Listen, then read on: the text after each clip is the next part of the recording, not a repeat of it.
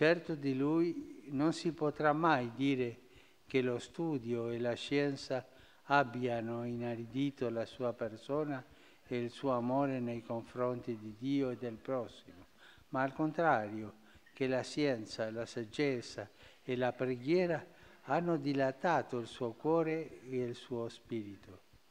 Ringraziamo Dio per il dono che ha fatto alla Chiesa e al mondo con l'esistenza e il pontificato di Papa Benedetto.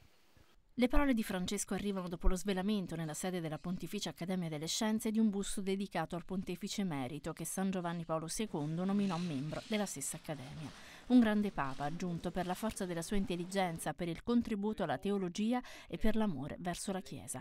Rivolgendosi poi ai membri della Pontificia Accademia al termine della loro sessione plenaria, Papa Francesco li ha incoraggiati a migliorare le condizioni di vita delle persone, specialmente i più poveri.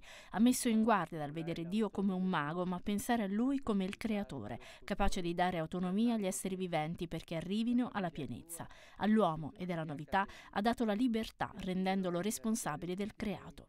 Il Big Bang, afferma il Papa, non contraddice l'intervento creatore divino, ma lo esige. L'evoluzione nella natura presuppone la creazione. Pertanto lo scienziato cristiano deve interrogarsi sull'avvenire dell'umanità e della Terra e allo stesso tempo concorrere ad eliminare i rischi dell'ambiente sia naturale che umano. A lui è chiesta fiducia e speranza in Dio perché l'uomo partecipa della potenza del creatore, ma attenzione perché quando la libertà dell'uomo diventa autonomia si distrugge il creato e questo è un peccato contro Dio.